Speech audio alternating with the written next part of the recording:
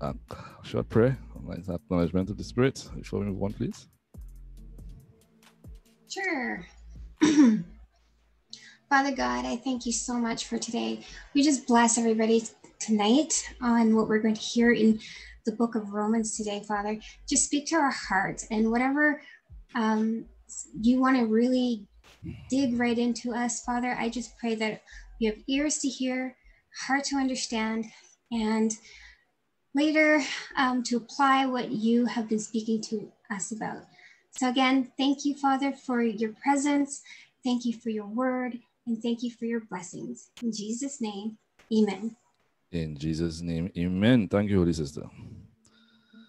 Nice. So um, tonight, well, all of these sessions in particular, we will what what we will do, as I would have explained in last last week. I'm just going to repeat it here again.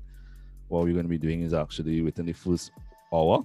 And we started about 15 minutes into it here today, and we had the greetings and so on. Um, as of next week, we would pretty much come in about 10 minutes to everybody settles in. So from eight o'clock we get started. Right. So we get we usually we, we will get started from eight and we within the first hour. Um, these sessions are not going to be jam packed with information because the last thing I want you to do is to be number one, oversaturated.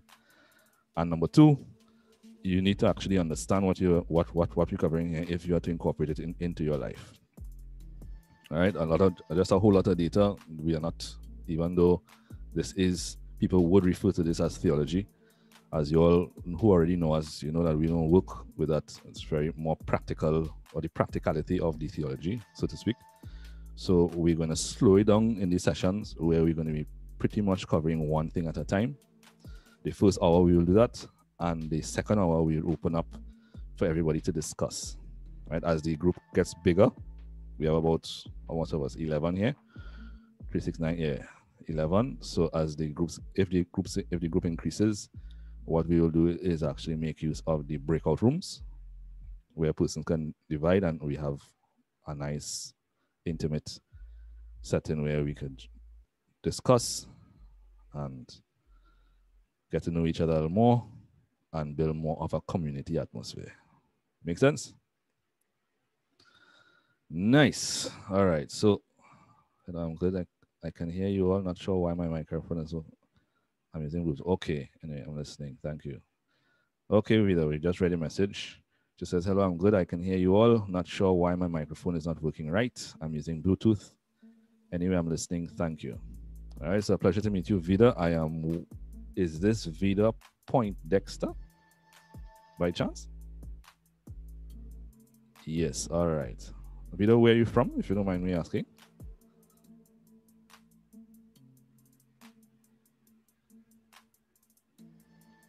India. Okay, awesome, awesome. All right, well, I don't think we have formally met before. My name is Zin. Zane as in Z-A-N-E, also known as Zane El Fuego on the mic. yeah, and I'm actually from the, the Caribbean, the Caribbean, Trinidad and Tobago. Right, so if you do have any issues with my accent, please feel free to message and I will slow down accordingly. All right, nice. So before we actually, all right, nice, you're welcome. So before we actually dive into the book of Romans in particular, um, there are a few things that are actually that we need to take into consideration before we venture into this letter.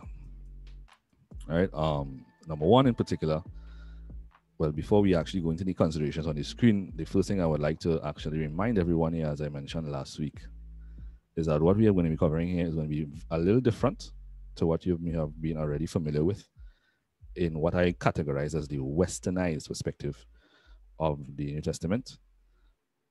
Um, this in particular, the New Testament is written through the lens of the scriptures, and so we are going to be very, very particular with actually meant keeping that reference point. All right, so the first thing that we want to actually take into consideration here is the writer of this letter. All right, who Paul is. Paul was a Pharisee, so we just need to get a general idea of what a Pharisee is. Um, with these three considerations that, that we're seeing on the screen here, each and each and every one of them, I can very easily spend two hours on each one but that will not get us far with Romans. All right. So what we're gonna I'm gonna do here is going to give some very, very brief information as to these three things here so that we can actually get into Romans. When we get into Romans in particular is where we will begin to identify key things that we should we should know about Romans as we go about as we go about it. So that we would use the actual session to dive into scripture instead of actually me talking about these things before. So as we go along, we will discuss that. All right. So the first thing that we want to take in consideration, as I mentioned, is who Paul is. He was a Pharisee, so we want to have a, a general idea as to what a Pharisee is. Um, also, the lens of the biblical characters. Right? You'll find that the lens of the biblical characters is very, very, very different, dramatically different from our westernized perspective and of course the role of the garden of, of the Garden of Eden in the scriptures. Right? All of this is actually from the ancient Hebrew perspective of, of, the, of the Bible. And so um, all of that is from the ancient Hebrew perspective of the Bible, so that so definitely there, there are going to be some differences from what you what you usually hear. All right. So the first the first question is who is Paul? Right now, to put it very, very briefly, everybody knows Paul as the apostle, the apostle Paul. Um, Paul was um, a Roman, a Roman citizen, but born to Jewish parents, Israelites in particular. In the scriptures, Paul identifies in the very book of Romans, Paul identifies himself both in, in Romans as well as in Philippians. He identifies himself as an Israelite of the tribe of Benjamin. Right, that's one of the 12 tribes of Israel. So that ties him very much intimately into um, the lineage of the characters of the Bible. And also, he identifies himself as a Pharisee of the Pharisees. Right? When he says when he says that he's a Pharisee of the Pharisees, what he's literally referring to is that he was a Pharisee that exceeded the accomplishments of other Pharisees. Right? So, what is a Pharisee? Anybody here know what a Pharisee is? What exactly is a Pharisee? As I said, we want to spend a whole hour on this, so as, brief as you can. What, what what have you known, or what do you know a Pharisee to be?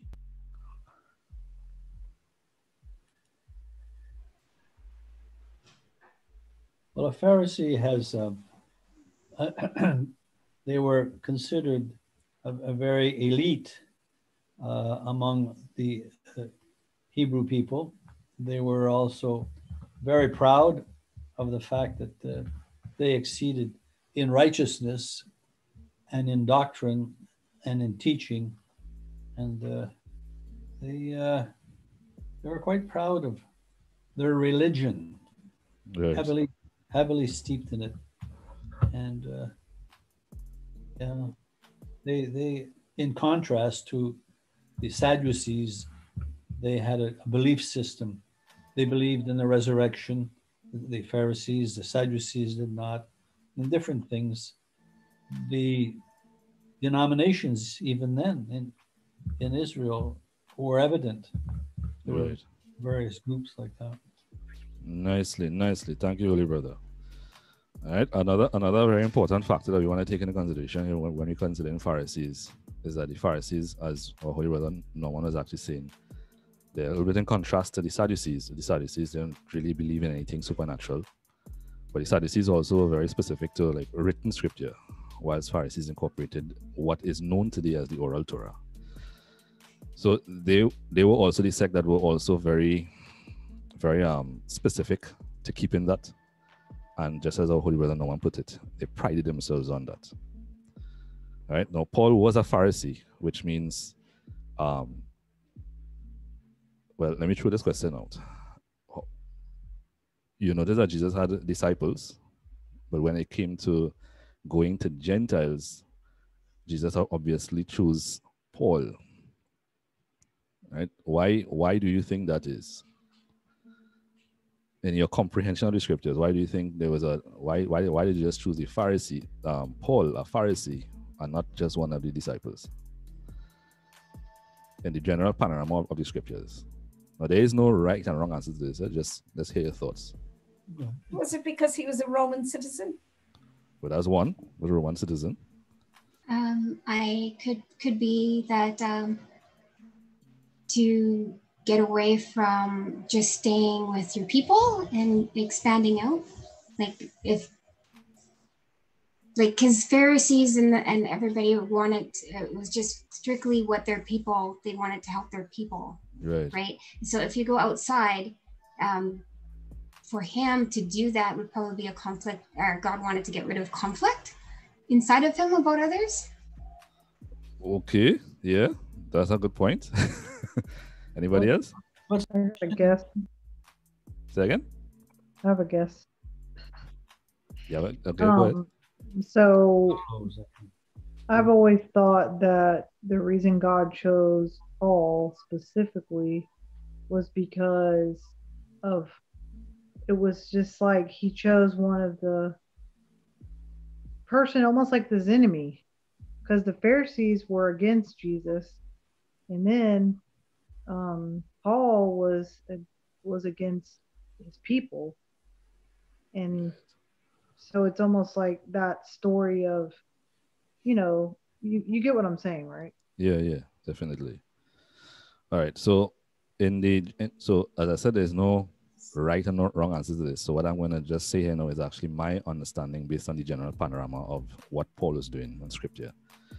All right. And what I understand on on my end is that um, if you notice that all of these Jesus' disciples, they were they had trades. Everybody ever realize that? Who's a fisherman? Who's a tax collector?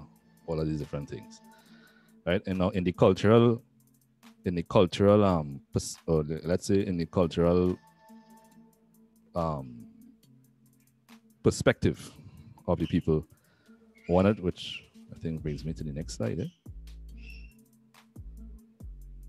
Yes bring me to the next slide man all right so right so in the, in the, in the, cultural perspective of, of the people you realize that all of jesus' disciples were actually into trades. Now, in in Israel and in, in Jesus' day, um, Jesus in particular, in the in the in the setting that that he was in, there was a a system that was actually put in place. Right, part of that system still existed in Israel, by the way. So what was what what what would usually take place is that there was there were phases put in put in place for the general Jew when we say Jew, we're talking about Judeans, Israel- uh, Judeans. The word Jew actually came about through English kings that actually changed the name from Judean to Jews. Right? But when, when, when this Bible was being translated and so on, so it's really Judeans. Um, they had a system where within a system that's actually divided into three. Right now, I can't go into depth into this again. This is another topic that we can easily spend time on. So I would actually encourage you to take note of this and to one research it. Right? There, there was actually a, a system of pretty much three systems of schooling, which is not separate. It flowed one into the next. Right? The first in particular is actually known as Beth Sefer, which is where the the the the, the, the people would memorize the Torah right? Beth Sefer is still existent today. You can YouTube Beth Sefer and see the school in action, where they spend time in song memorizing the Torah. Now, usually after Beth Sefer, you go into what's referred to as Bet Midrash, which is where you go and you begin to try to, to, to memorize the, the prophets. Right, and after Bet Midrash, if you if you are well one of the bet, better students in the system, they will go into what they refer to as Beth Talmud, which is where you find a rabbi to be taught by. Right, the rabbi would actually choose one, choose people to be disciples. Now, if you didn't actually, if you didn't, um, if you didn't continue along that schooling after the first one, because mem- the law mem- memori- memorization of the law in particular was a requirement for all. Right, after circumcision, you're required to actually your next step was to memorize the law. Uh, Wherever you wherever you didn't continue on that, the cultural practice. Someone in the meeting room. Hold on. Kelly, you seen someone in the meeting room? Uh, I sent a message about 10 minutes ago. We I don't see that message there. Sorry. no problem. Sorry. yeah. Um. Yeah. So if we, if you didn't actually go from one to the next, if you uh, so let's say you went through the Torah and you didn't continue, practice was that you find a trade. Right? You, the practice is you, you would go and you, you find a trade and you, you go work or work with your family business and so on. So when we see Jesus in particular, sorry, Jesus' disciples, you see that Jesus' disciples are men who fishermen from different areas of, of the society. So, you know, in particular, they didn't really go into the full extent of what was what was actually acknowledged as a normal schooling system then. Yeah, this is why when when some of these leaders would hear Peter speak, they would say they when they watch him say he's a fisherman, he he he shouldn't have that kind of knowledge as well as boldness and strength in what he's saying. He had to be with Jesus because of where they would have actually stopped in the in the recognized schooling system. Now, Paul in particular was a Pharisee, which means Paul went through all of that, and Paul would have exceeded everybody else as a Pharisee of the Pharisee. And one I think one of the reasons I think that one of the main reasons I think that that Paul was actually t- um, chosen, in in addition to what everybody expressed, is that Paul, with the knowledge that he has, you cannot toss Paul around the place when it comes to scripture. Right? That is a man that will stand up there and take any argument and bring it into its correct perspective. And also um, on that on that on that on that on that front, he, he would have been solid. And then on the other front, the fervor that he had actually worked for Christ. So he was very, very, um, very, so to speak, hot when it comes to what he believes and what, what his script is. And so he came into Christ knowledge of, the, of Christ, and that was just transferred. And Starboy went with it. Yeah. So um that's that's that that's actually with regards to, to, to Paul the other thing that we want to take into consideration here is the lens of the biblical characters. Now, we know baptism in particular as being baptized into Christ Jesus. Not many people are very much aware of the fact that baptism was not started with John the Baptist. John the Baptist was not the inventor of baptism. He didn't he didn't create it or he didn't get any special revelation to start baptism. right? Baptism is actually a very common Jewish practice, just introduced in the, in the, in the in the Gospels a bit differently, and because it's actually translated from Greek, they use different words. But baptism is very much a Jewish practice. So, like when you, let's say, for example, persons who, persons who, and I hope I'm not moving too quickly with this because I don't want to spend too much time on these points and We want to get into to, to Romans. Um, so baptism in particular was a very common practice under the under the law, under the Torah.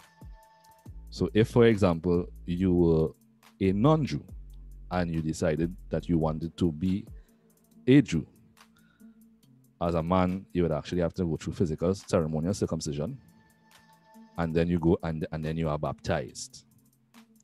Right. As a woman, you didn't have to go through circumcision, but you'll be initiated by the same baptism.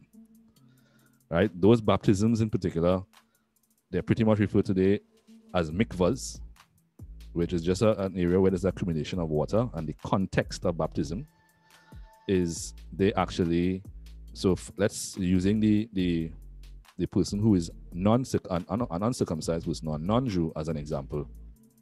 Um, after you're, you're baptized, you'll be after you are circumcised, you'll be baptized, and the baptism represented entering into the womb again the water the water was seen as in the capacity of a womb so you dip into that water and you rise as as you you are rebirthed that is why paul I mean paul jesus john they're actually speaking about be born again right now the first the first birth for them is actually where they were dipped into that water and they were born into the con in, into the covenant so when they went when the, when the nation went astray they were actually dipped in that water again. So they say that it's actually being born again. Gentiles are not born again. I know it's common church talk, but to be born again would mean that you would have to have, would have would have had to be under the first covenant and baptized into that covenant. Paul takes the same the same concept and he refers to it not being born again, but he refers to it as resurrection. So instead of actually using it, looking at it from the perspective of a womb rising, is the same concept, just different reference where we as Gentiles, according to that law, would actually go to the grave just as Jesus went to the grave and we rise anew. Now, once in the in the Jewish system, when once you hit that water and you rise, you left your, your life behind and the Torah became your life. Everything was Torah. It was that covenant and how you keep that covenant, how you keep that contract. You, you um, and Paul says in, in, in 1 Corinthians 10 that you are baptized unto Moses. Right, that's because Moses was pretty much the prototype under the law. That's why Jesus refers to the Pharisees and he says, he refers to the Pharisees and he says that you sit in the seat of Moses. Because under the law, you're not baptized unto Christ, you're baptized unto Moses. Moses was the prototype, and so all prophets and so on, they patterned Moses.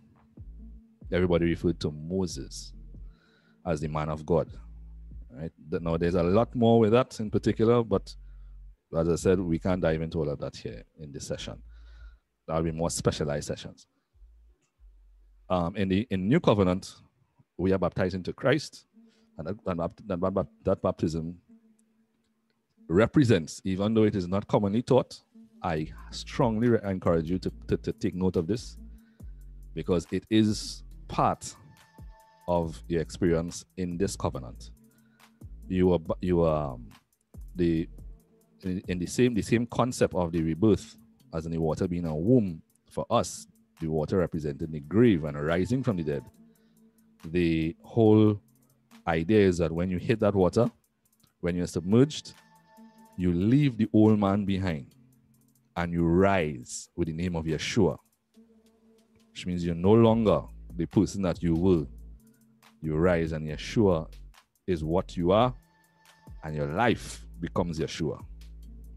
Yeshua is the word. So all of the promises in the scripture is now it now defines you, defines who you are. Is that making sense so far? Yeah? Anybody lost? Did I go too quickly? I think it's very good that you mentioned about the mikvah and the, I guess, is that the Hebraic understanding of being submerged in under the water as a womb? I've never heard of that before, Zane. Yeah. Consider that a, It- a, womb like that's why that's why uh, what's his name um, um, when Jesus spoke to um, Nicodemus. Nicodemus related to that. He said, "I have to come back in my mother's womb." That is exactly what he was referring to, sir. Is that right? eh? yeah, that's a whole Jewish talk going on there. Cool. Yeah, but it's been overlooked because most persons already understand it. In the in the Old Testament, it was actually, if I remember the word carefully, it is referred to as um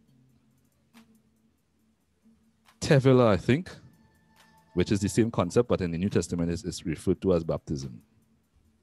With the same submersion in water. People actually Jews would, would build these things into their into their culture, into their homes. And there were places where you would go where there were persons allocated for you to be dipped. It is also used for like women who actually went through menstruation and so on. All those things under the law for you to be ritually clean. That's what they that's what they're referring to there. It's the same thing. Make sense? Very good. Thank you. No problem, no problem. All right. So um the, so having said that, the next thing that we ought to know is that once you once you were baptized in that covenant, you were baptized under Moses, you were you were required to memorize scripture. Now, this is where it gets very, very the blinders need to kind of come on a little bit here. Uh, because when they actually began to memorize scriptures, they live scriptures. Everything that they do, everything that they live is from the perspective of scriptures. We in the Western world, we have actually seen the Bible and that we take all of that and we apply it to um, we apply it to well i shouldn't say apply we take all kinds of external sources and we jam it into the bible to make it make sense for us right? Whilst they on the other hand they memorize this and they live from it right? That's why in particular in the old in here in Western world we say theology because to us we actually trying to understand this thing we take all these external sources and we must and we need it into the bible like we needed bread. But they actually lived from that right?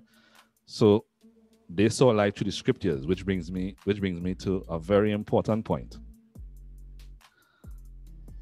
the role of the garden of eden in the bible. Again i can easily spend two hours two three hours on this we want to keep this as brief as possible here also. Um so what's the role of the garden of eden in the bible? So we have actually been taught the garden of eden um i actually posted a file a PDF file in the Discord community last week on this in particular. For those of you who may not have gotten it, we encourage you to, to go across the Discord. If you if you're there, it's supposed to be posted there. It will be posted there, so you can actually peruse that. I've taken that file from Bible Project, um, from from yeah from Bible Project, and I've actually posted it there. It was a it's a file that cut, cuts down a huge amount of work for me so just read that, right? nice. So, um, when it comes to the Garden of Eden, we've actually been taught the Garden of Eden very, very succinctly. We've taught the Garden of Eden from the perspective of, well, I put it like this: we, we see the Garden of Eden through the lens of NASA, right, where we have satellites and we can see planets and galaxies and all of this kind of thing. And so we read the Garden of Eden, and we attribute NASA to Genesis chapter one. And because of that, we see we, we, we look at Garden Eden through the lens of cosmic creation and how God put everything in order in seven days. Right now, in the context of the scripture and, and the cultural component of the, of the scriptures, um, I don't, I don't if I, if you haven't heard this before and you haven't read that document, I just want to actually state that the Garden of Eden is actually in the ancient Hebrew perspective and context representative of a garden temple. Right? I encourage you to go and get that document in Discord and, and, and, and look at that. The Garden of Eden is actually representative of a garden temple. And in that document, there are scriptures that actually show that the seven days that was taken to um to the seven days that were elaborated in the Genesis narrative is actually reflected in, in both the construction of the tabernacle as well as the temple right? Just as the tabernacle was built, and you had seven speeches, which was God's words to Moses, and then seven acts. Seven speeches, Sabbath, seven acts, rest. In the same way, Genesis is actually written where there's seven speeches. Genesis chapter 1 to chapter 2, verse 3, and from chapter from verse 4 to the end of the chapter would be the acts that's actually a couplet chapter.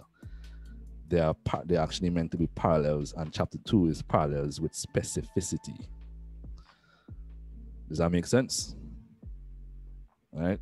I strongly encourage you to actually get that document and, and review that because I can't go into all of that here tonight. That's easily two hours. that makes sense, everybody. Very good. I would start uh, I thought that the Garden of Eden was a was more of a spiritual in a spiritual dimension and the garden here on earth was a, a reflection of that right. uh, suppos- supposedly uh, where adam was to bring heaven to earth. Right. Uh, uh yeah i understand what you're saying. Um, but but in the in the context of the well to really understand the garden of eden Moses built the tabernacle as a mobile version of the garden. So everything that actually took place in the first temple, which was the garden temple, it was reflected in the tabernacle. the entire tabernacle st- structure of, of, of, of the tabernacle is a re- is really a reflection of that. Right? As I said, I can't. I, I, I wish, but if we go into that, there we ain't finishing now. right? So you can look at it. There's a PDF in Discord. Thank And you. Can, you can take a look at it there. And if you have any questions, we, we, we, we deal with it in the upcoming sessions. Lovely. Nicely. All right. So with the establishment of that, you'll notice that um when Adam actually was put out of this temple, um the garden in particular being the temple, the priest in sorry, I jump I jump forward there. So Adam and Eve Adam and Eve was they were actually placed in the garden, and the garden was really in Adam and Eve was really God breathing himself into dust. And the garden was really a reflection of the man, the spirit of the man. When he was put out of the garden, it was also a reflection of his spirit when he actually moved from self-existent function to codependency. To seek life outside of you was actually indirect, is actually an indirect acknowledgement of lack on the inside. Within the garden in particular, there is the there is the parallelism of the breath of life with the water of life. He was put outside of the garden because when he made his decision, he was voided of spirit, and therefore there he was put outside the garden where there was no water. He he it, it represented his spiritual state and perspective. Now, if you follow the if if you follow the Genesis narrative, you'd realize that everybody from Genesis right back down to Malachi, they are really searching. Abraham and Lot is a very good example, as Genesis 14, if I'm not mistaken. Uh, if I'm uh, don't hold me to that, but in that in that chapter, you notice that when Abraham and Lot decided to go their separate ways, Lot looked across the Sodom and said that it looked watered like the Garden of Eden, so he went there. Abraham, at the end of the chapter, looked at the, at the trees of Mamre because it was actually again related to the garden trees. Now, all through the scripture, the Garden Eden is actually looked upon as the actual ideal atmosphere for everyone, and they sought it. So they look for where it looks and it resembles the Garden of Eden. Now, there are two reasons for that. Number one, that was actually passed down because they were the descendants of Abraham. I mean, descendants of Adam, of the Adam. And when the Adam made his decision, his memory was pretty much passed down into their into their nature as the memory of that was passed down into his descendants as a nature, as well as the fact there was there's clear indication that this was actually communicated to to the characters of the Bible. Now, what they didn't know is what Paul revealed, which is what he stated that this was a mystery that was hidden from generations and from ages. Christ in you. So what you see in, in the Old Testament is that they are pursuing getting back into the garden, not understanding that there's there's actually the, the necessity for change, spiritual change. The person that you see in the New Testament in particular, in the Old Testament that speak about it is David, where he says, Create in me a clean heart, renew within me a right spirit. Right? And that's and Jesus being the seed of David was actually fulfillment of that.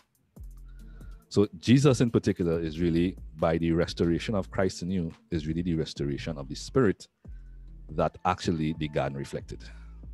Does that make sense? Everybody following that? Yes, yes. Yeah? Nicely. Any questions? Problem. Awesome. All right. So that's the shortest version of that that I can that that, that I've ever given. Tanya? I think I have a quick Okay, question. hi. Uh-huh. Um, Hello, Jimmy.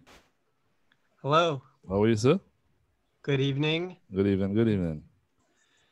You know, I I I guess I wasn't so sure because um I don't have my laptop charger right now and I need to save my battery for my guitar lesson tomorrow, which is over Zoom.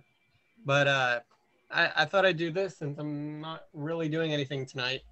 Okay, okay. If if if if you um you have problems with battery, you you to access this on the YouTube after after the session. So if you're unable to do that now, you can access the, the, the session on YouTube. Yeah, I mean I think I should be good. I have like 97% battery. Okay, okay. All right. We will be help we will be here for an hour again. So All right, so where are we? Let me see if I have my back, or let me let me see if I have my Bible. okay. All right, Nice. got We- the Bible. all right. So we are in the book of Romans. All right. I'm just Roman. Yeah, I'm just actually doing a very short overview of some things that we ought to take into consideration before we actually get in. So now coming to the end of that overview and we begin shortly. I just have a quick question, Zane. Hold on, eh? Tanya. Um, Hold on, Tanya. Um, Jimmy, Okay. as as we go through these sessions, we, we'll ask you to, to mute the mic so that we don't get any feedback. All right, right? I'm gonna. Nice. Thank you, sir. Yes, Tanya. Okay, so I was just wondering. Um, there's one thing that's been playing in my mind for a while about God breathing the breath into Adam. Now, was it uh, he blew breath into the ground and the man formed, or did he form the man and then blew breath into him? Which It is, is actually represented in uh, parallelism. So it seems it seems it is in the parallelism that's represented is actually where it is like that aspect you're talking about is actually Mm. represented in a somewhat of a triplet. Okay. So it's kind of it gives the impression that it was one and the same. It was okay. is actually the same thing. N- Not it, one didn't come before the other. So it formed all in one. Yeah, Ooh, that's pretty good. Okay, in carry on. Yeah. right. So um, nice. So what Paul would have revealed in his in his gospel is that Jesus is actually Jesus being Jesus is the pretty much the restoration of that spirit back into men, which is of something that we'll speak about as we go along. All right. Um, so let's start with Romans. We start in Romans chapter one. We will in from verses one to four. All right. And um, today in particular, what I what, we're going to do is spend the next 20 minutes after we read verses one to four. we- as I mentioned in these sessions, we want to take one concept at a time. We will not try to force too much into the session. So I'm reading from the Amplified Bible. All right. So for those of you who have actually other versions, you can still follow along. If not, you can just watch the amplified the ampli- the, the, the literature on the actual screen. I'm sharing the screen here. All right. So verse one in particular says, Paul, a bond servant of Christ Jesus, called as an apostle, special messenger, personally chosen representative, set apart for preaching the gospel of, of God, the good news of salvation, which he promised beforehand through his prophets in the sacred scriptures.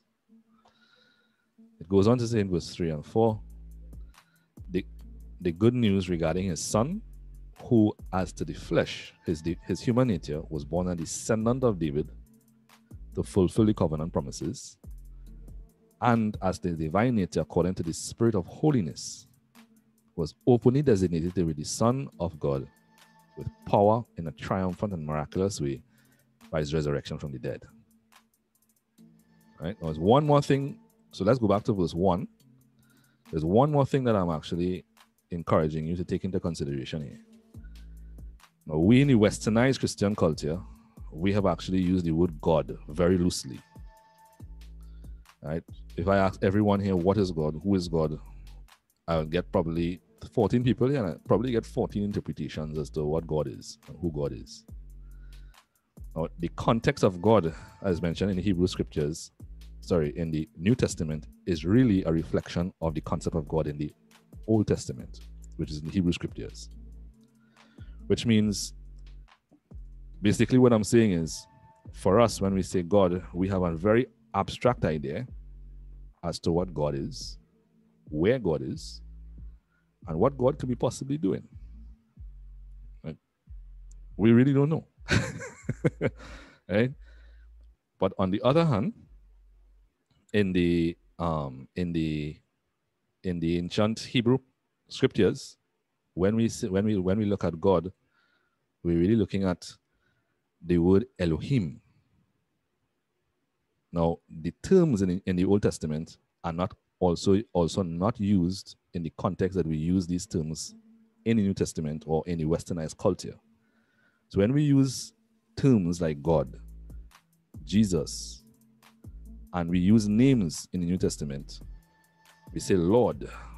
These are names that are actually attributed in the form of a label to be able to identify one thing from the next.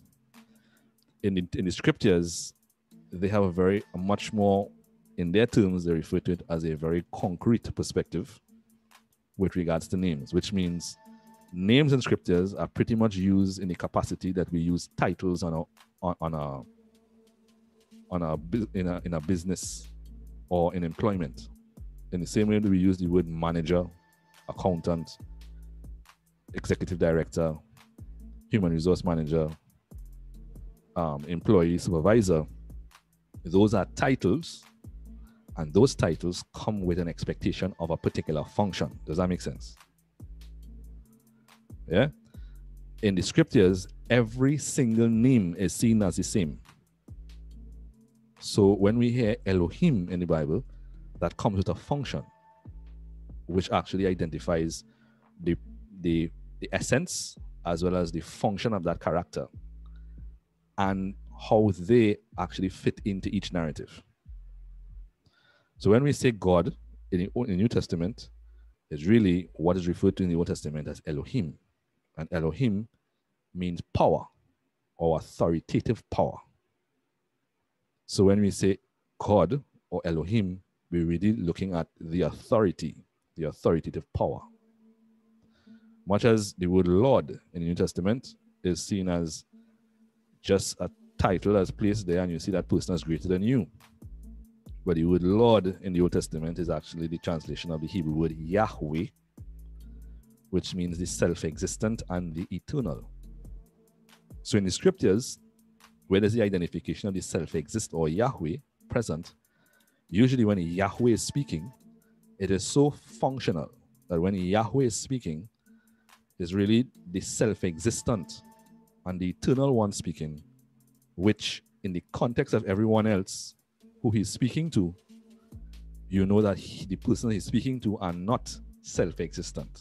They are codependent. And the self existent one is given the self existent perspective amongst men who may see things through a very codependent perspective. Does that make sense? Yeah? So throughout when, when we read through Romans here, I'm going to encourage everyone when we say God, we're going to say Elohim, authoritative power, because you actually identify yourself as sons of God, not so? And if you identify yourself as sons of God, then what you're really doing is like actually identifying yourself as sons of power, authoritative power. Does that ring differently for you now? it means to say that you actually have a function, and your function is to be authoritative, which is where most of your power begins to flow. So everything you're doing, like even with healing, you say be healed, because that's authority. You don't say please heal, please heal him. Be healed because you are sons of authority, sons of power. Make sense? Nice.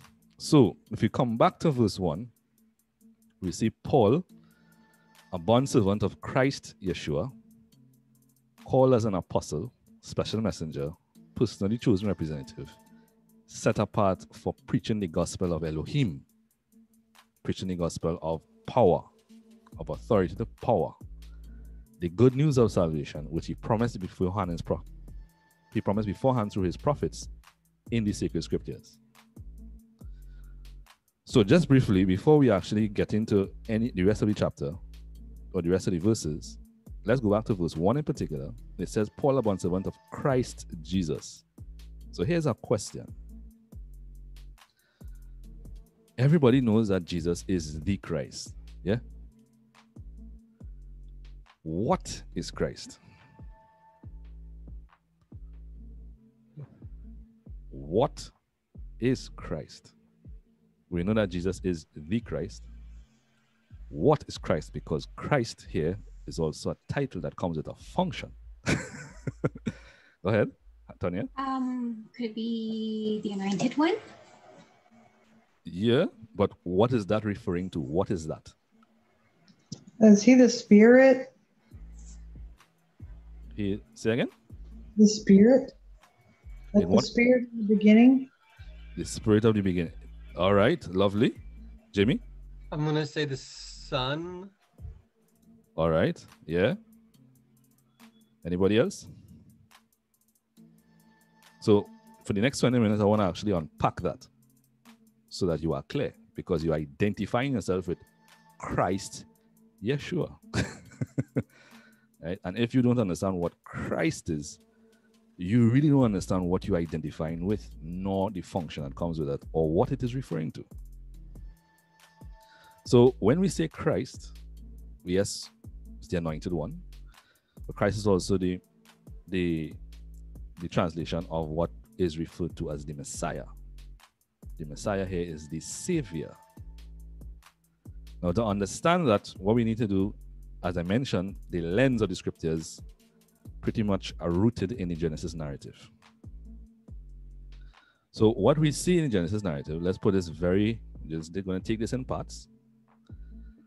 What we see in the Genesis narrative is that God breathes himself, a thought of himself.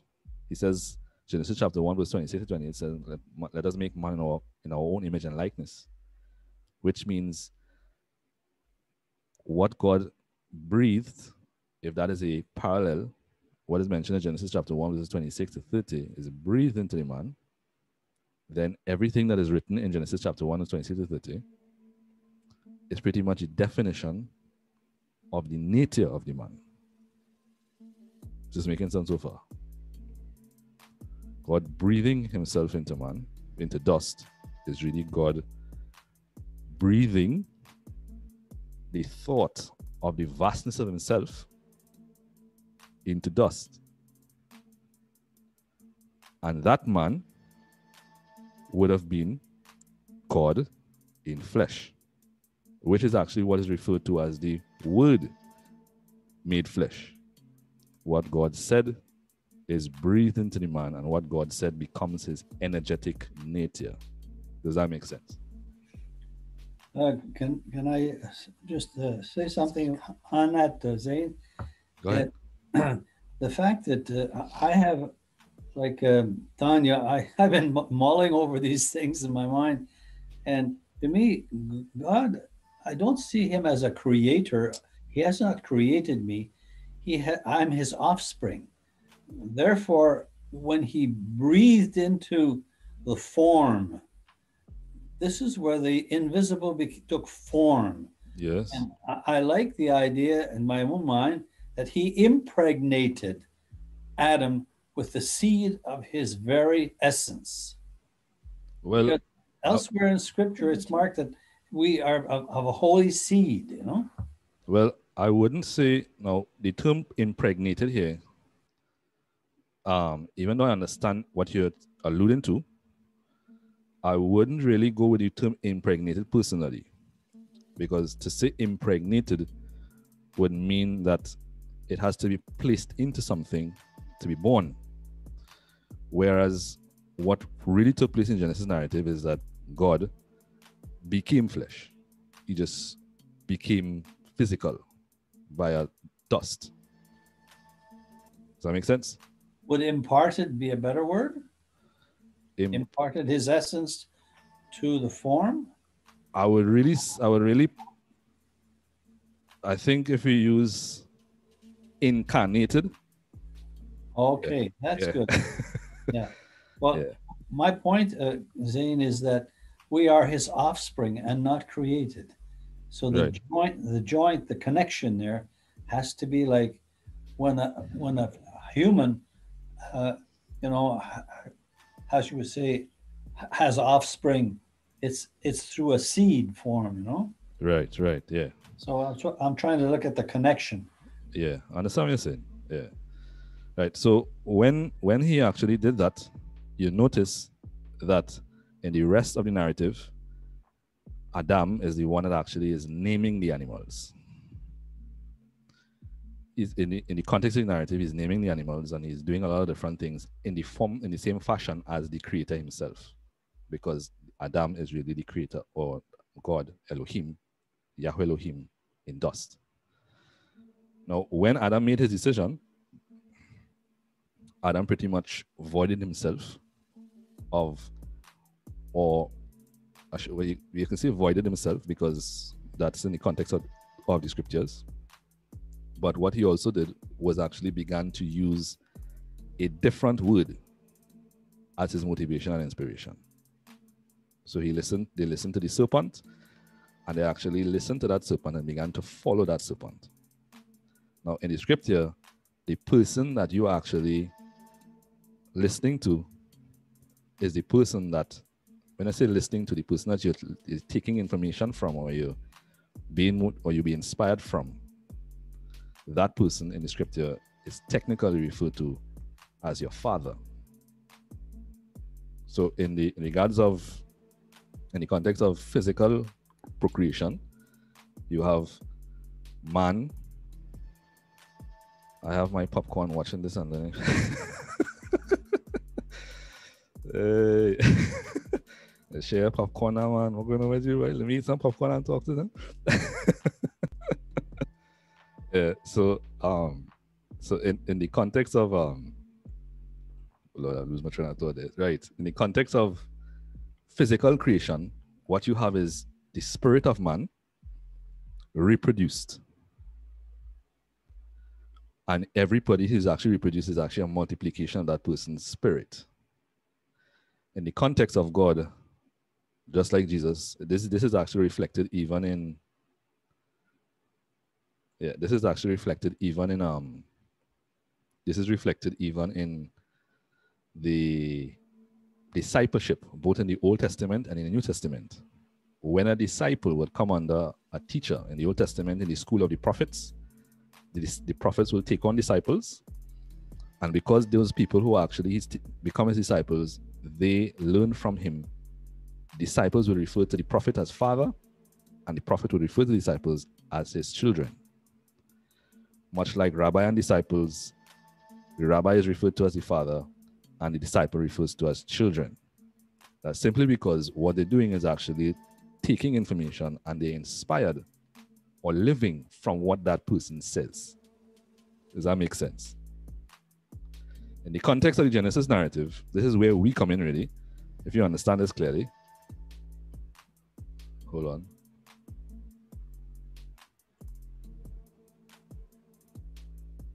Yeah, just Right. So, um, yeah, in the context of the Genesis narrative, what you see in Genesis chapter 1, verses 26 to 30, God speaks, and that is breathed into the man, which means that's God's thought about himself reproduced. So there is God on earth and God in and God in all. Does that make sense? When Jesus speaks, he says, I and the Father are one, meaning I, the Father, are one, the same being, same spirit, multiplied. Yes, Tonya. So um, just to clarify, the uh, what God breathed into Adam yeah. is be able to create, be able to speak life. Everything uh, that God everything is? that ba- Papa does, we do. Yes. So just want to clarify that. Yes. right now, when God, when Adam did that, sorry, when Adam was created, Adam was doing that. Adam named the animals, and to name in the Hebrew means to give life to to give breath to, which means he was a creator. Now, I know that may sound a little new if you're actually coming from most westernized doctrine, but the name and breath in Hebrew is one and the same.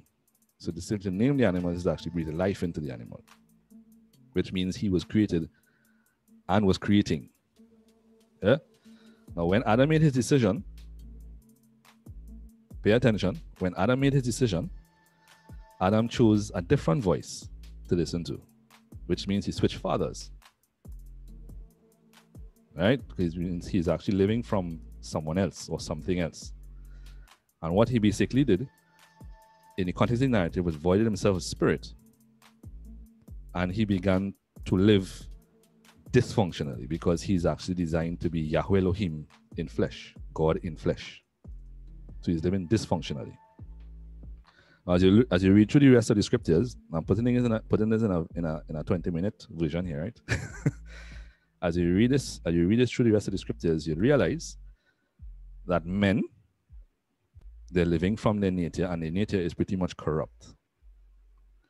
And when when the when the tabernacle is created through Moses to reflect the garden narrative, to, to, to reflect the garden temple, the priests in particular reflect Adam and Eve in the garden. And when the priests speak, the priests do not identify themselves by anything else. When the priests speak, they say, Thus says Yahweh. What, what is actually showing is that the priest was a reflection of the original creation, the original man, and how the original man functioned in union with the God of the temple. So when you speak to the priest, you're really speaking to the God of the temple.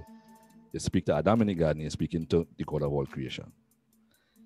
Is that making sense so far? That's a second tidbit. Everybody following that? Now, you see that with priests, as well as you see that with the prophets. That's why James tells you, use the prophets as your mentor. Because the prophets also says, thus says Yahweh. Those are the men that are actually functioning, resembling the original creation. The creation that was actually not called Adam in the garden, but Yahweh Elohim. Is this making sense? All right. Nice. We're going better than I thought. Great. So the priests and the prophets, they were there and they're functioning, even though they were fallen, they were pretty much functioning in the capacity of the original creation. And so they say, thus says Yahweh, thus says Yahweh. Right? To be a priest of God is really to be a son of God in the scriptures as it's as it is actually reflected. Now, many of us actually see how God deal with the people with covenants. And for those of you who may be questioning that, a covenant is really the closest way to hold fallen creation responsible to the original intention. I want to say that again. I want to digest that. A covenant is really a mechanism that is used to hold dysfunctional creation responsible to the, the original function. Does that make sense? Beautiful. Absolutely beautiful. Yeah. All right. Yeah. Yeah. nice. So that's why you see all through the Old Testament, there are covenants. Nazarite covenant, Mosaic covenant, Abrahamic covenant. These are fallen, but dysfunctional men who are not functioning according to the original intention. And the covenant is the closest way to keep them responsible to function. This is where Jesus comes in. So, in the garden, God breathed his life into dust and made himself Yahweh Elohim in flesh. The body is really what is referred to as the Adam, but the name it comes from the spirit. The spirit is Yahweh Elohim. Jesus is God's breath, spirit breathed into dust again.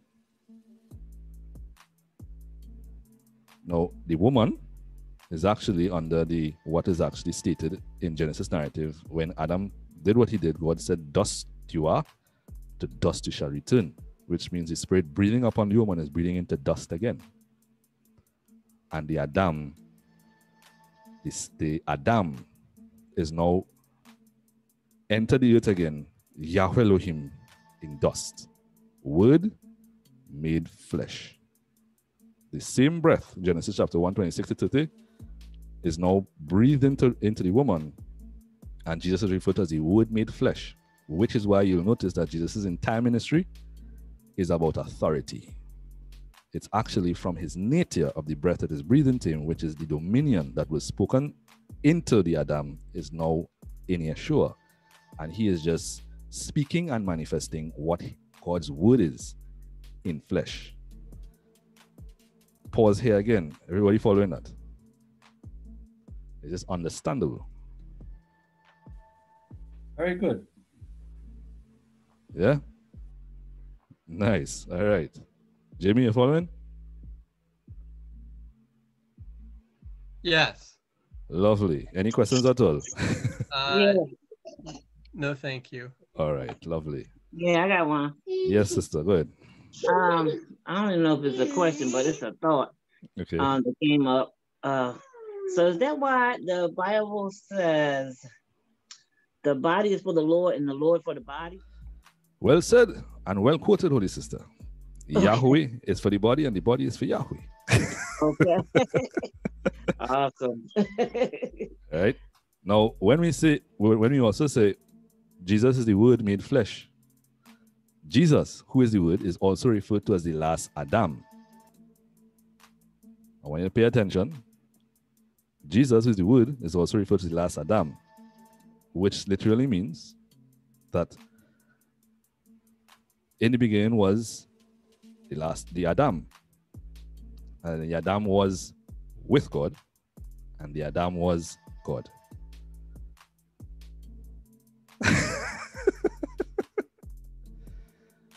Let it digest that a little bit.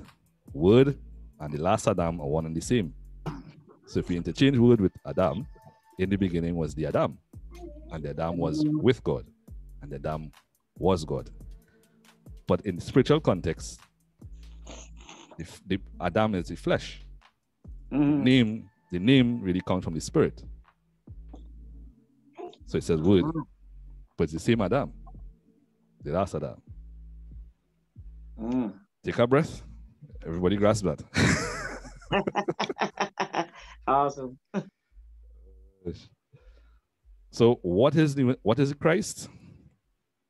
Christ is the original breath breathed into us again.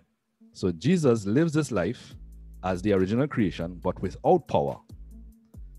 Lives in the capacity of a fallen man without actual corruption, but lives with the limitations that they incurred upon themselves because of their corruption.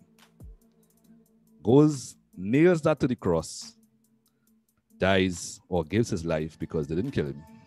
He gave his life. He gave his life because he he was perfect according to the Torah. So God promised life in the Torah. He could probably have put a nail through his head and he wouldn't have died because the, pro- the Torah promised him life because he fulfilled it per- per- perfectly. He had to give it up. He died and God resurrects him because God still hasn't fulfilled the promises of the covenants that he fulfilled. So God resurrects him to continue his word. Jesus now breathes upon the disciples, ascends to become all and in all. And now, what he breathed upon the disciples received the Holy Spirit, was fulfilled in the upper room where he and Father are one. He did it, and Father fulfilled it and breathed into these men the breath of life from the Genesis narrative right back into these men. So the Messiah is really the breath of life back in you again. That is why Paul says that Christ is the savior of the body. Christ is the breath of the body. Breath, body, body, breath. Christ is the head of the body. Christ is the breath of the body. I pause there again. Does that make sense? Yes. So that means uh, the word, another thought came uh, when it says God is all in all. Yeah. Yes, definitely. Everybody else. So I'm going to pause here, right here, and the next half hour, I'll open up to express your thoughts before we end. Next half hour. Feel free. How does this how does this really impact your comprehension? I know it would have been a bit different from what you were taught, which really doesn't didn't have any. It's really abstract what what we what is what is taught in Westernized culture. But Christ is really the breath of life back in you again, which means, let me put it like this: Christ being the breath of life back in you again is the breath of life in the Garden of Eden, restored, and therefore your real name, or before, hey, let me just add this to this. In the garden narrative, God breathed himself into dust. The dust, the body is referred to as Adam. And the breath is where the name comes from, which is Yahweh Elohim. Christ is the new Adam. Therefore, God breathing his breath into you makes the body Yeshua and your name Yahweh Elohim. Restoration of what was lost in the garden. So, that was my story. Take some breath. I know this might be a little different, but this is what Christ is. So, you are the fullness of your Father on earth again. You and the Father are one.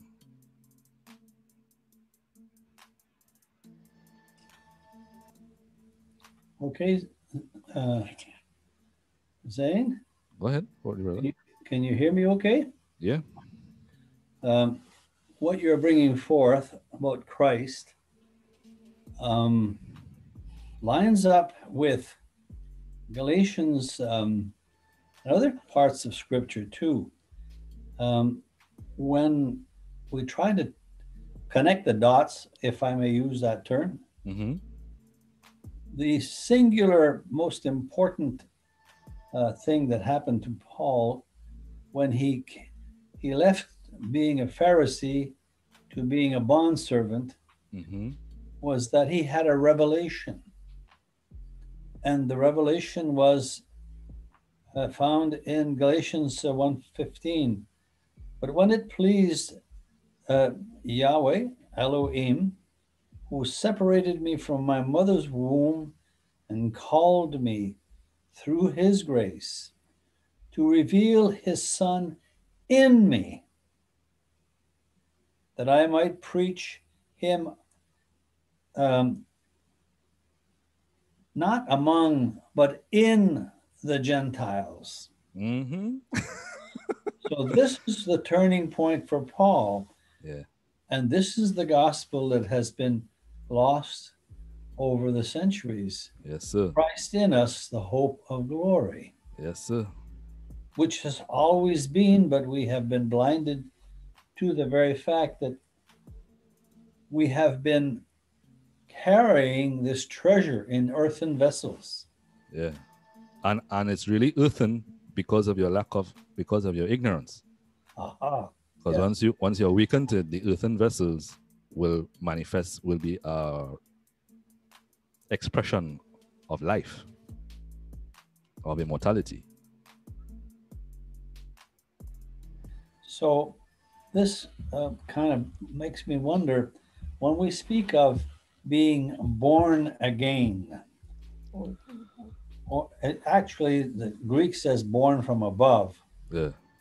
it's more like a an opening up of our consciousness to who we really are up to a point because we many people who are like I was I was birthed from above but I fell into a religious system and I lost the fact that what this really meant you know Yeah. So so in the in the in the context of the Bible, those things are very solid. They have very solid reference points. To say that you're born from above is the breath from above that is breathed into the dust.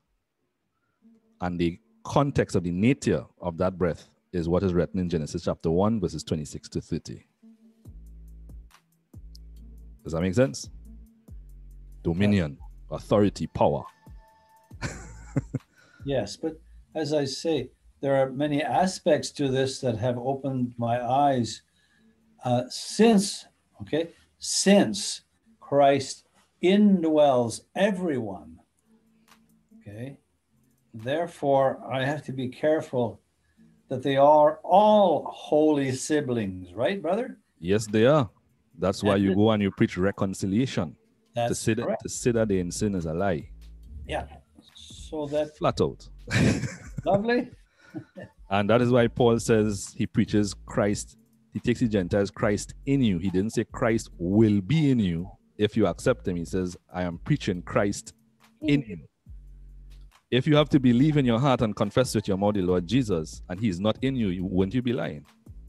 Yeah. but this is what religion, you know, turns us upside down. And uh, Yes, yes, sir. and uh, I had to I had to really struggle with that.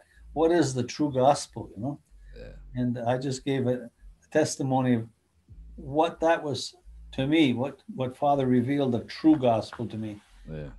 was. You know, not these split denominational takes on the gospel, Well, the but, fu- but the, the gospel of the kingdom. This is it.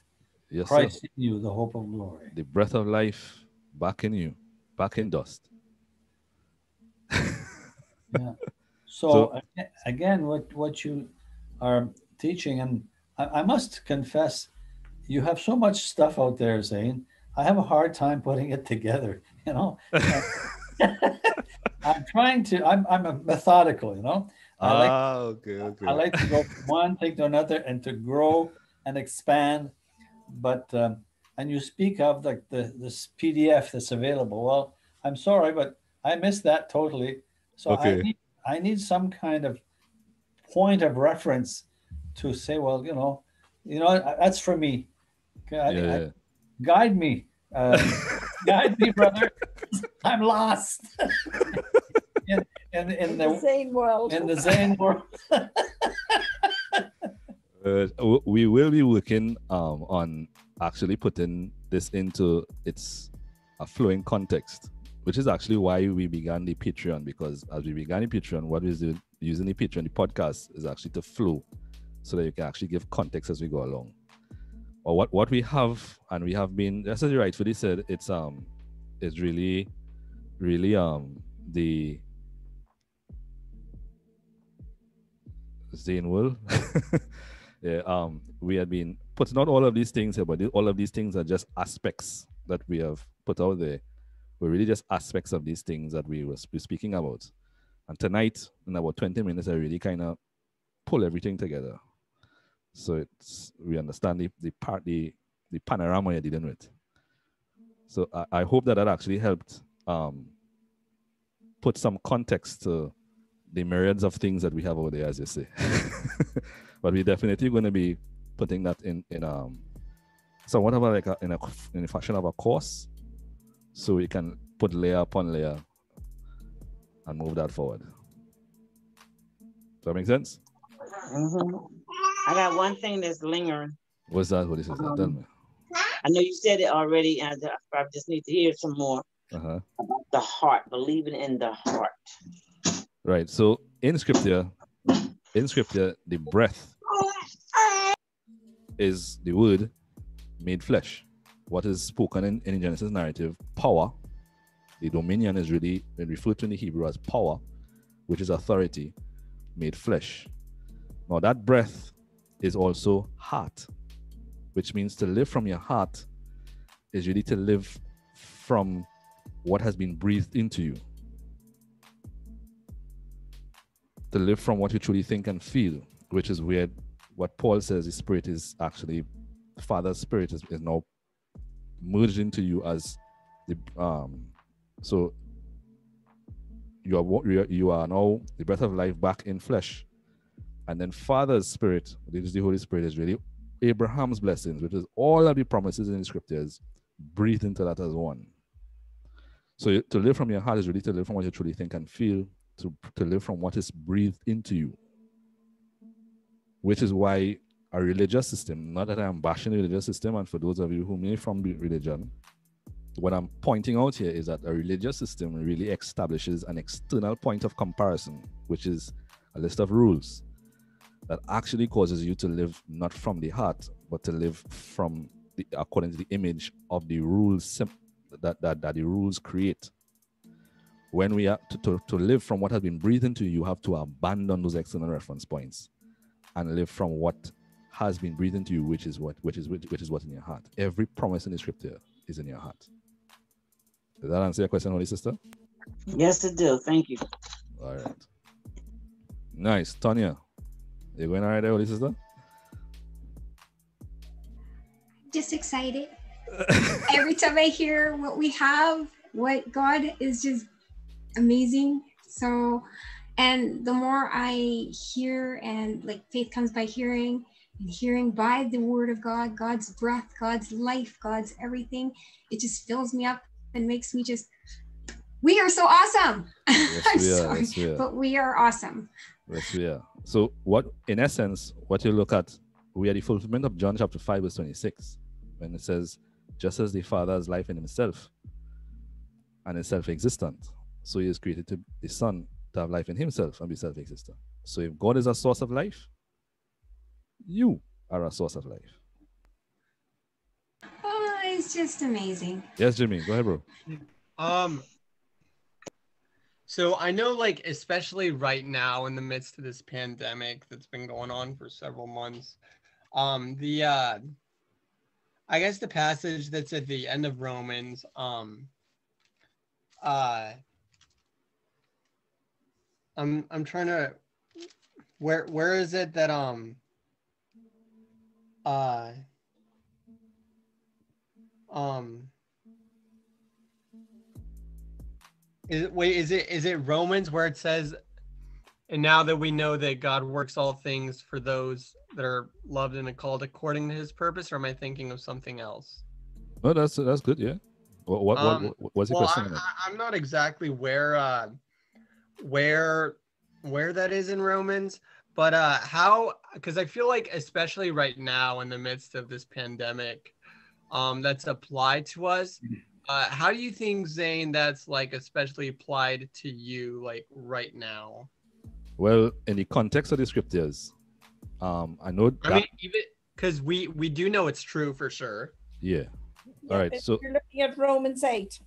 yeah, in the in the context of the scriptures, Jimmy, I know yes that that verse that um that that verse is just as a concept to actually in the westernized culture, only in the westernized culture, that verse is actually seen as something that is used to say that any evil thing that is going on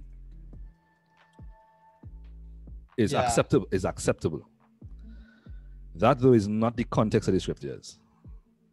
Right? Um they've actually to, to, to use it like that would be to take to take it out of the context of the passage that is taken from. But definitely in the context of the of um of the of, of the usage in the in, in the actual passage, it refers to personal trials to not trust God. yeah That has nothing to do with accepting viruses and pandemics. As a matter of fact, as sons of I God, know. as sons of power, you are here to eliminate that from people. Yeah, there. I, I guess there was another uh, another passage in Romans uh, that I wanted to go through. It's in uh, I guess Romans eight eight eighteen, but was probably not considering to do it. But um, and I'm I'm not sure if this applies to you right now. Um, but it says uh. Um, and I'll guess can I give my like two cents of on the on this issue and then I guess you can chime in your opinion. Sure, go ahead. But um here I'll just read it and it says uh I consider that our present sufferings are not worth comparing with the glory that will be revealed in us. Um I think uh that we as believers um know that there's a that there's a that there's a light and that there that we will have the hope of glory whenever not i'm not i'm not just speaking in like what we're going through right now with this global pandemic but in like no matter what we're going through Right. but yeah Okay, so so i think that's one passage i guess both of those i've been looking on not Right. just not like not just right now but even pre-pandemic and definitely past pandemic whenever this is over Right, right, right. I, I hear your heart.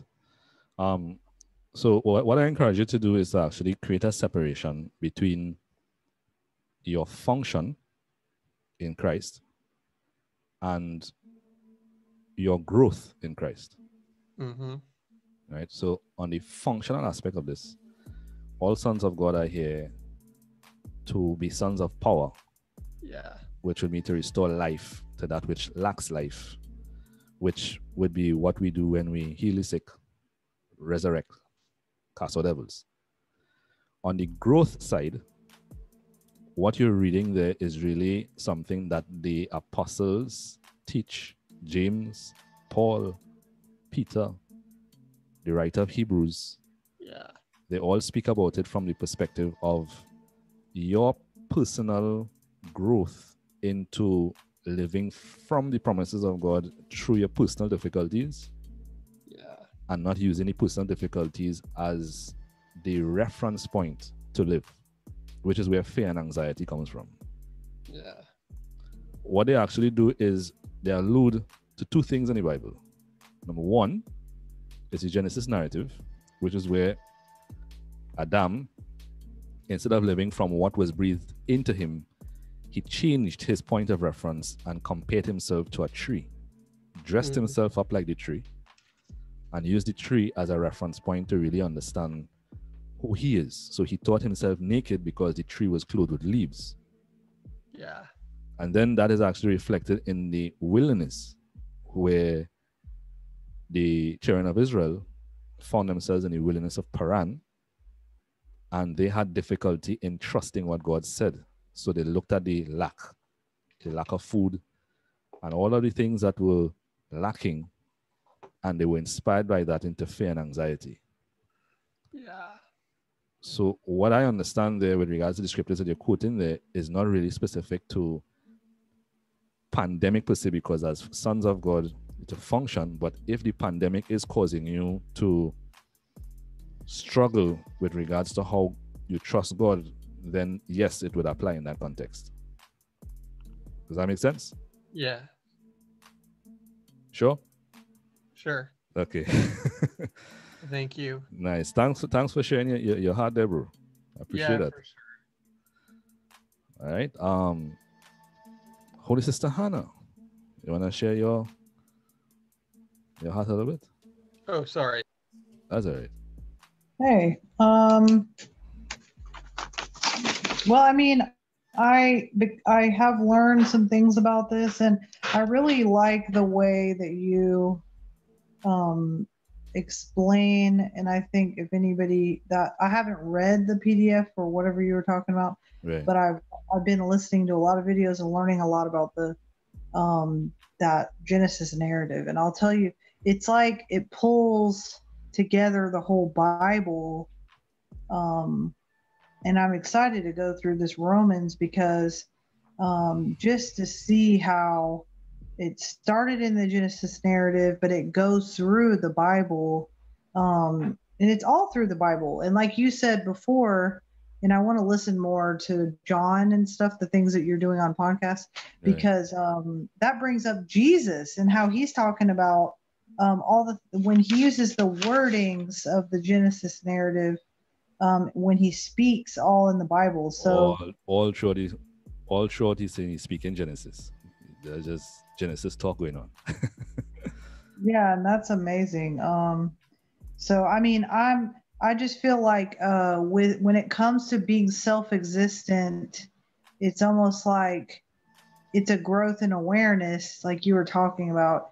And I loved about the baptism because I was wondering about that, and I had heard you talk about baptism a little bit before, but um, regarding baptism and how they used to baptize before John the Bapti- Baptist baptized people, Right. and um, and what it meant then, and then what it means now, and that was that was very cool. I actually was baptized when I was seven or nine by my father in a swimming pool. Okay, okay. And I'll tell you, I felt it. It was a real experience that I had. And um, I remember it was a real experience of life for me. And it was very exciting. And it was just to me like a choice I made to like you like you described it. So um I don't know. Okay. Pretty awesome. Awesome. Thank you for sharing that with us. Yeah, thank you. Yeah. Um, Pauline, mind me calling upon you? I'd like to anything that how does this understanding impact you?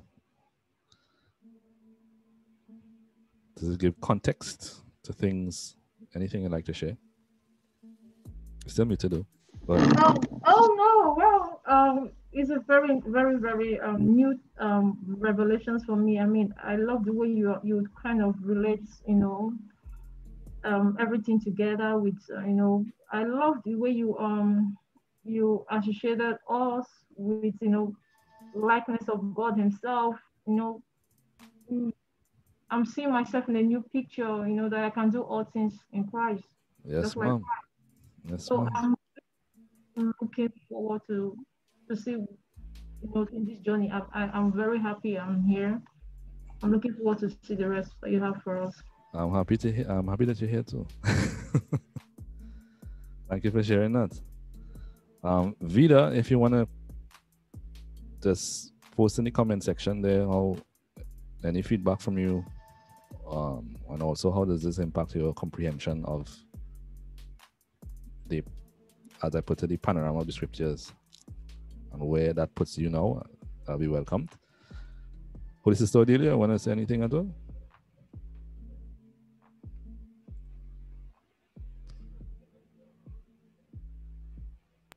I'm trying to open this thing up. Oh yeah.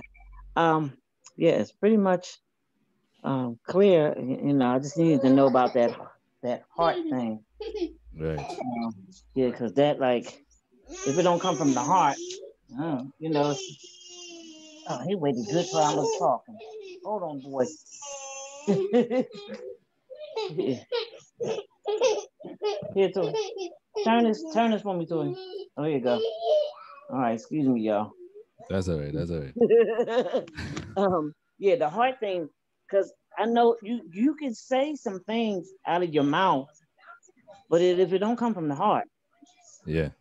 Yeah. it's um, you know, you just being a parrot or something. The, your real your real essence. Right. Your real essence. The real essence of who you are and what you are flows from your heart. So if you're not functioning from your heart, you are not releasing your real essence. Yeah, and I'm, I'm trying to understand it so I can know how to share that with the children when I teach the children Right. about the heart because we when we as we grow up um, and learning in in uh, the churches, they say you know they teach you. They says, well, where Jesus at? And they say in your heart, but are we are we, you know, is it